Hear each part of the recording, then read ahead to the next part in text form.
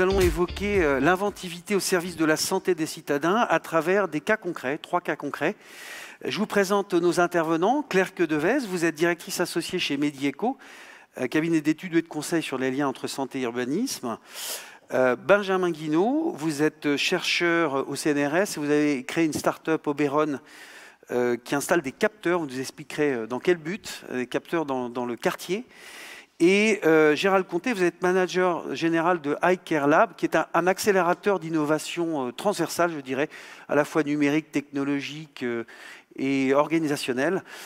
et vous mettez ensemble l'ensemble des acteurs qui peuvent justement produire ces innovations de demain. Claire-Sophie Quedevez, je me tourne d'abord vers vous. Alors, peut-être nous dire tout simplement comment est-ce que vous intervenez à l'échelle de Lyon-Confluence Quels sont un petit peu les, euh, les sujets et les, questions que vous, allez traiter. Euh, bonjour.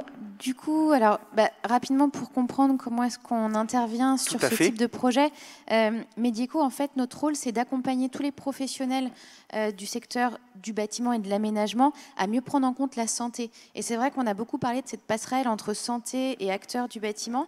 Nous, notre rôle, c'est justement d'avoir, de faire de la santé un élément transversal, à la fois à l'échelle des projets urbains, mais également dans le cadre bâti, que ce soit de la construction ou de la rénovation. Et donc, bah, finalement, on va s'intéresser presque à tout ce qui touche pas à l'offre de soins. Et donc, euh, on prend en compte, par exemple, toutes les thématiques liées à la santé environnementale. Et on a entendu, on a évoqué la qualité de l'air. C'est notamment là-dessus qu'on est intervenu. Mais également tout ce qui est euh, comment trouver des solutions pour inciter aux pratiques de vie plus saines, euh, favoriser la mixité sociale, intergénérationnelle. Et donc, l'idée, c'est essayer de justement de contextualiser un projet aux besoins des occupants. Et notre rôle, c'est de porter en fait l'humain au cœur, euh, au cœur de, toutes les étapes d'un projet. Euh, sur Confluence, sur Solis, notre rôle, il a été euh, plus spécifique à une thématique. Et euh, quand on vit sur Lyon-Confluence, euh, on n'est pas sans savoir qu'on est en zone très urbanisée, euh, qu'on a un axe de trafic à proximité. Et l'idée, c'est de se dire comment est-ce que dans mon logement, je peux justement me protéger des différents polluants qui peuvent être émis par le trafic automobile. Donc, on a échangé avec Bouygues Immobilier et Link City sur les différentes solutions. Et c'est vrai qu'aujourd'hui, on sait que la qualité de l'air intérieur, elle est 5 à 7 fois plus polluée que l'air extérieur. Alors là, on est dans un contexte particulier parce que finalement, on ne sait pas trop s'il faut ouvrir ou pas la fenêtre pour faire rentrer l'air extérieur. Donc l'idée, c'était de savoir comment est-ce qu'on peut accompagner les futurs occupants euh, à mieux gérer finalement le renouvellement d'air de leur logement euh, parce que si on ouvre la fenêtre, on fait rentrer les polluants extérieurs. Donc l'idée, c'est de mettre euh, en place différents capteurs à l'extérieur du bâtiment et à l'intérieur du bâtiment, des capteurs qui sont spécifiques aux polluants qui sont émis par le trafic automobile. Donc on s'intéresse aux particules fines, au dioxyde d'azote. Et puis, à travers des indicateurs qui sont euh, directement envoyés sur téléphone portable via un QR code, euh, l'occupant en fait aura une idée de la qualité de l'air extérieur, de la qualité de l'air intérieur et pourra gérer son renouvellement d'air. L'objectif, c'est essayer de voir si via ce, via ces capteurs, euh, on peut ouvrir au bon moment la fenêtre dans la journée. Et il y a un double objectif, c'est ce qui nous intéresse aussi beaucoup sur un projet de cette taille, notamment en ville, euh, c'est essayer de voir aussi euh, les capteurs en fonction de la hauteur au niveau du bâtiment, si on a une qualité de l'air extérieur qui évolue. Et eh oui, bien sûr, euh, ça dépend des, au niveau en fonction des étages, hein, si je ne m'abuse. Les études commencent à le dire, mais on aimerait bien le vérifier aussi. Il y a des heures aussi, il vaut, bien, vaut mieux moins ouvrir ses fenêtres. Bah, peut-être qu'effectivement, quand les gens vont au travail le matin, peut-être. C'est pour ça qu'on aimerait bien mettre en place. Il faut mesurer finement, il faut avoir des indicateurs, et puis il faut savoir les communiquer de la meilleure façon possible, avoir tous les canaux possibles un enjeu pour que les, habitants soient, soient sensibles. C'est un enjeu énorme sur la communication, parce qu'on est sur des thématiques euh, euh, la qualité de l'air intérieur, finalement, c'est quelque chose qui n'est pas visible. Bien sûr. Donc, grâce au capteur, on va rendre visible Chacun ne peut pas avoir un capteur chez lui, hein, c'est pas envisageable. Donc, euh, Ça commence à être très envisageable, puisque les coûts commencent quand même à être beaucoup plus acceptables. D'accord. Euh, et puis, la, effectivement, on rend visible, mais il ne faut pas rendre, euh, il faut pas limiter le côté anxiogène. C'est-à-dire que, euh, effectivement, il y a des polluants, euh, mais l'idée c'est pas non plus d'effrayer les gens. Donc, il faut aussi réfléchir à comment est-ce qu'on va transmettre cet indicateur, et puis comment les gens vont se l'approprier. Bien entendu. Et... Il faut l'expliquer, il faut ne pas dramatiser, et il faut, il faut, surtout donner des, des, des, des, actions, des réactions à mettre en place. C'est ça, donner des données chiffrées sans donner d'action aux gens. C'est juste pire pas que tout. effectivement la bonne bah, solution. C'est le Covid aujourd'hui aujourd'hui, hein, donc globalement. Super, on développera avec vous tout à l'heure. Benjamin Guinaud, alors vous, vous, avez créé Oberon, une start-up qui installe, si je, je livre l'information, des capteurs, pour le coup, sur euh, les risques d'allergie. Alors, qu'est-ce que vous allez faire à l'échelle du quartier? Alors, surtout, c'est une euh, start-up qui fournit des services à partir de ces mesures qui sont spécifiques. D'accord. Euh, l'innovation est dans le capteur, mais elle est surtout transmise par le, par le service. Vous avez cité donc le CNRS, dont je suis issu, Oberon, cette boîte qui se crée ici en Rhône-Alpes. Je voudrais mentionner le réseau Pollen, qui est un acteur principal et une, partie prenante importante du service qu'on a créé ici avec donc euh, le territoire de, Lyon-Confluence. Ce service est un service qui est résolument tourné vers la prévention des risques respiratoires et d'abord les risques allergiques, vous l'avez dit. Euh, il y a deux euh, cibles. Il y en a une, c'est les gens qui savent, c'est-à-dire qui se savent malades et ceux qui ne savent pas. Ceux qui se savent malades, ils ont eu un diagnostic, ils savent à quel pollen ou à quelle moisissure ils sont sensibles, allergiques. Et ceux-là ont exprimé, d'ailleurs, dans les enquêtes qu'on avait faites avant d'installer les capteurs ici à, Confluence, le besoin d'avoir une information au moins journalière, d'avoir une prévision, d'avoir une visibilité pour pouvoir anticiper ce risque et une échelle qui soit l'échelle du quartier. Donc ceux-là, on leur apporte cette information via, via cet indicateur de, de bien-être respiratoire et ça leur permet de mieux contrôler leur relation à leur maladie. Et puis il y a ceux qui ne savent pas, et ça c'est très intéressant. Il y a en France partout dans le monde en réalité de plus en plus de gens qui sont allergiques. Et en France, il s'écoule 7 ans en moyenne entre euh, le moment où vous déclarez un symptôme allergique et le moment où un, spécialiste va vous dire bah, vous êtes allergique à tel, allergène. 7 ans, c'est énorme, ça veut dire qu'il y a énormément de nos concitoyens qui, euh, souffrent en fait, euh, soit de rhinite, soit d'asthme, sans vraiment le savoir, sans cerner les causes de leur mal-être. Et c'est aussi donc à cela que l'on veut apporter cette information par différents canaux. Il y a l'application, il y a le site web, il peut y avoir des, canaux euh, sur le, je dirais dans l'espace public. Et évidemment, l'articulation avec une maison de la prévention et de la santé se fait euh, naturellement. C'est-à-dire qu'il faut que l'étape d'après, on parlait de la solution, soit à portée de main. Bien c'est cette articulation qu'on a Cet espace, ça va être la, possibilité d'expliquer déjà ce que vous faites hein, aux, habitants et leur permettre de s'en emparer. Il y a une question que je comptais vous poser, ça tombe bien, elle est posée par Internet. Réponse courte pour laisser euh, de, euh, temps de parole à Gérald mettre plus de végétation euh, dans les quartiers, est-ce que c'est pas accroître le risque d'allergie respiratoire? Bah, C'est une très bonne question. On est obligé de poser la question. Eh hein. bah, c'était le sujet qui a été abordé dans la table ronde précédente. La végétalisation, pour tous ses bénéfices, doit être considérée. Il faut considérer les risques que l'on installe peut-être dans l'espace public. On ne va pas mettre du peuplier, on est d'accord? On va éviter le boulot, par exemple. Au boulot, euh, pardon. oui, c'est le boulot. Donc euh, voilà, ça, ce sont des choses effectivement qu'il faut euh, réfléchir globalement pour ne pas créer un, risque, un, risque qu'on n'aurait pas D'accord, mais, mais, mais, on peut. mais le bénéfice est là. Il y a des espèces, et d'ailleurs le RNSA, le réseau pollen dont je parlais, fournit. Voilà. Après, c'est dans le choix, c'est dans le choix paysager qu'il faut être très très attentif, hein, si je comprends bien. D'accord.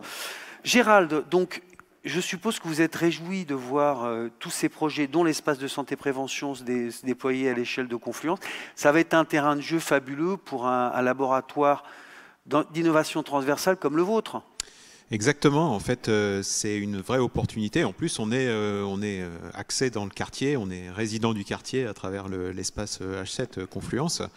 En fait, oui, Akirlab, c'est un, laboratoire ouvert, un laboratoire hors les murs sur, euh, ben, sur toutes les thématiques qu'on a, a, a évoquées. C'est-à-dire que euh, Laurent Michelin l'a signalé tout à l'heure, on a été engagé très tôt dans le, dans le projet, hein, puisque ça fait partie du, des objectifs du lab, c'est d'essayer d'aller euh, traquer hein, les, opportunités d'innovation, les problématiques de terrain en matière de santé. Ce qui nous amène d'ailleurs à, proposer des animations de type hackathon. Donc, Hacking Hell, c'est Lyon, c'est ce soir que ça commence. Et donc, toutes ces activités créatives qui engagent aussi euh, les parties prenantes qui sont directement concernées. Et on l'a bien vu qu'il y a de multiples parties prenantes quand on touche des projets de santé. Des usagers, ce sont les principales cibles, des professionnels de santé, et puis après des gens qui sont en capacité de faire et de, concevoir les solutions que ce soit des solutions euh, technologiques, mais l'axe du, lab, c'est aussi l'innovation organisationnelle. Parce que, au final, euh, comme l'a très bien dit euh, le professeur Chauvin, à un moment donné, il faut que la mise en œuvre opérationnelle, on pourrait dire, se fasse sur le terrain et que les gens qui sont directement concernés soient aussi directement impliqués dans les, dans les propositions qu'on leur fait. Alors ça, c'est le premier axe du lab. Et puis le deuxième, il est complètement en, lien avec les, deux précédentes interventions, c'est comment on contribue. Alors une fois qu'on a fait émerger des choses, qu'il y a des entreprises ou des associations ou d'autres acteurs du territoire, des établissements qui sont emparés de la conception, c'est comment on les met en œuvre de façon expérimentale avant même les commercialiser, puisqu'après on peut imaginer qu'une fois qu'on a fait les premiers tours de piste réussis, euh, on a atteint son modèle économique, en tout cas l'objectif qui est, derrière tout entrepreneur et start-upper, c'est de, de, valider les, les bases de son modèle économique, on les met en œuvre au, quotidien, je dirais, euh, auprès, des, auprès des habitants, auprès des usagers, auprès des, euh, des professionnels de santé. Donc voilà, le lab, c'est une structure euh, associative qui est soutenue par les pouvoirs publics, en particulier par la région Auvergne-Rhône-Alpes, la métropole de Lyon, qui engage aussi des professionnels de santé, des établissements, des, des, structures aussi qui impliquent des, des libéraux, hein, les, fameuses CPTS, un mot barbare, qui sont les communautés de territoriales de santé. Voilà, et qui, et qui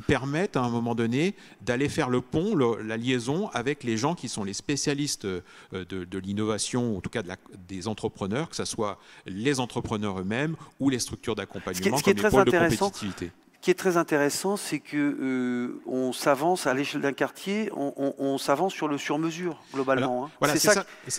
voilà, avec l'idée de pouvoir dupliquer, mais dupliquer sans copier quelque part. C'est toujours pareil. C'est que il faut que ce soit un effet vertueux pour qu'on soit à la fois dans la proximité et en même temps dans un concept mm. assez C'est, vrai que là, du coup, sur la confiance, il y a une vraie conjonction euh, d'opportunités favorables. On, a, déjà cité plusieurs euh, du, fait que le quartier est en construction, mais il y a également donc, des structures comme H7 euh, qui hébergent des startups physiquement sur le quartier. Et, nous, du, fait aussi d'être impliqués depuis, assez longtemps déjà sur la, conception, sur les phases, je dirais, de réflexion avec, avec Eureka Confluence, on, on est en potentiellement en capacité, euh, à travers l'espace de santé, mais aussi avec euh, l'ensemble des acteurs du quartier, les autres professionnels, il ne faut pas les oublier, les quartiers euh, de, santé, de, confluence, de proposer en fait un terrain de jeu, on pourrait dire ça comme ça, pour, des, pour des, des, des, innovations qui... Avec une nécessité hein, qui a souvent fait défaut dans un certain nombre d'innovations en matière de santé, c'est qu'on se préoccupait souvent des usages réels pour les destinataires en fin, en fin de projet. Alors que là, on part, on part des, des, des, usages réels, on les vérifie, c'est la fameuse préférence patient ou, hmm. la, la, satisfaction client hein, qu'on entend souvent euh, se développer dans le champ de la santé. Et là, on peut imaginer que ces, ces personnes du quartier qui seront euh, euh, sensibilisées par l'espace de santé et prévention seront peut-être plus incitées à répondre à des questionnaires, de, de noter telle ou telle appli, etc. etc. C'est clair en fait, l'innovation, c'est d'abord un terreau. On, crée d'abord un écosystème favorable pour qu'à un moment donné, les gens qui ont des opportunités de, développer des solutions ou qui ont des besoins, hein, c'est les, deux, les deux processus sont, opérationnels. C'est un peu ce qu'on voit dans les hackathons. Hein. c'est vraiment euh, une, capacité de proposer des, des, problématiques, des défis au regard de la technologie. Je dirais que moi, ce pas des démarches qui s'opposent. Hein. c'est avant tout des démarches complémentaires. Il y a la capacité de proposer des choses d'un point de vue technologique, mais il y a aussi la capacité pour les usagers et les habitants d'être générateurs d'opportunités. Et je dirais même que c'est euh, même très favorable parce qu'on euh, on a l'impression que du coup on est impliqués les uns et les autres dans une démarche, au lieu que ça descende, entre guillemets. Il y avait référence tout à l'heure à, une version, un volet très euh, directif, ou en tout cas descendant de la prévention. Je pense que pour l'innovation en santé, d'impliquer, et c'est très exigeant, c'est très compliqué, etc., d'où l'intérêt d'avoir un lab santé qui, qui aide un petit peu en termes de méthodologie, de, de, positionnement des, des, bons, des, des, bonnes parties prenantes sur un certain nombre de projets. Alors c'est peut-être très ambitieux, peut-être un peu utopiste de notre mais part, il en faut. mais sans doute intéressant de l'expérimenter, même pour nous, expérimenter cette démarche au niveau du quartier, Conclusion parce qu'on est en proximité avec un certain nombre Vous allez bien vous amuser. Voilà. Claire-Sophie, peut-être une petite réponse de 30 secondes sur justement, vous, vous partagez aussi cette notion d'aller chercher l'avis euh, de l'habitant, et c'est ce que vous allez faire, je suppose, avec euh, ah, Je vais pas dire que c'est presque la clé de réussite, c'est-à-dire que euh, on a évoqué, je crois, le, terme de listing, et l'idée d'un quartier favorable à la santé, c'est surtout de se dire qu'on construit et on aménage pour des gens qui vont venir vivre, pour l'homme, et que cet homme a un ces, enfin, ces populations ont des besoins et que tous les choix de conception qui se font à l'échelle des aménagements urbains, mais aussi à l'échelle du bâti, doivent répondre aux besoins. Et d'un quartier à l'autre, les besoins sont différents. Et on a trop aujourd'hui tendance dans les projets d'aménagement à voir un peu le listing de toutes de toutes les innovations qui sont reproduites euh, sans forcément s'intéresser. Donneur d'ordre, cahier des charges, et puis tout ça est vertical. Euh, les populations plus âgées n'auront pas les mêmes besoins que les familles qui arrivent avec de jeunes enfants. D'accord.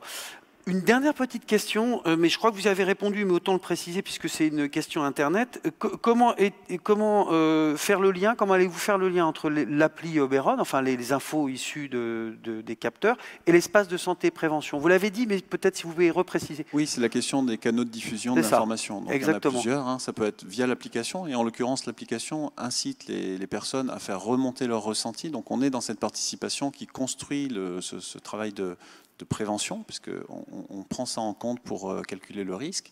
Et puis, il y a de l'affichage public, il y a des sites web, voilà, c'est ça. Il y a des écrans également. On travaille, on se rapproche des pharmaciens pour que le, relais se fasse aussi à travers les officines.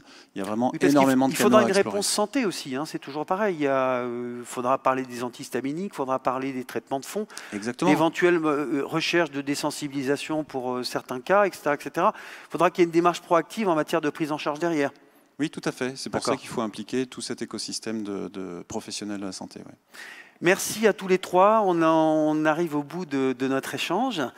Euh, je vous propose de rester en scène. Quelques mots de conclusion. Euh, je pense qu'on a pu retenir quelques mots-clés euh, qui me paraissent importants à conserver en mémoire, donc prévention et, santé bien entendu, prévention et santé au cœur de la ville, prévention et santé au cœur de la ville pour un, bien vivre ensemble.